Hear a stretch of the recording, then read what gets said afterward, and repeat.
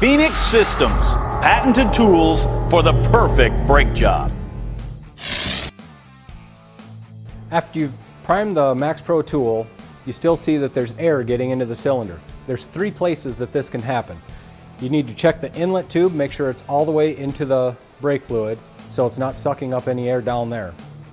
The second place is at the back tip. Make sure there's no air coming in through the connection between the inlet tube and the back tip.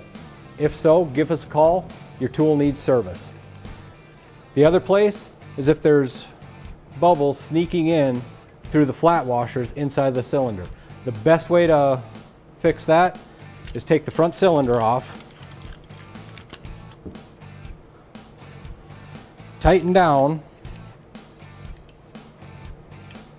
the plunger end cap,